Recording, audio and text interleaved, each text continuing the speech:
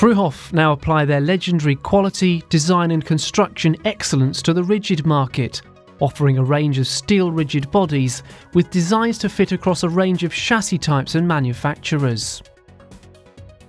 All Fruehauf rigid bodies are manufactured with the highest grade steel to give maximum wear resistance and durability.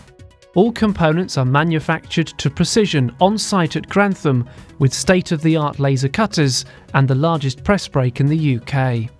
Currently undergoing full European type approval on all of their rigid bodies, Fruehauf are working closely with major truck manufacturers, TÜV Rheinland and Vosa to be ahead of schedule and fully compliant before type approval is made compulsory in October.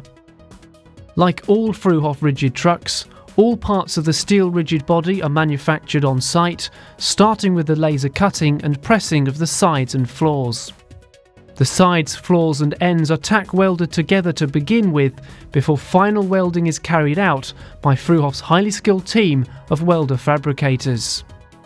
The body is fully jig built for accuracy and precision, and Fruehauf's build capacity enables production to be increased at any time to meet the demands of customers.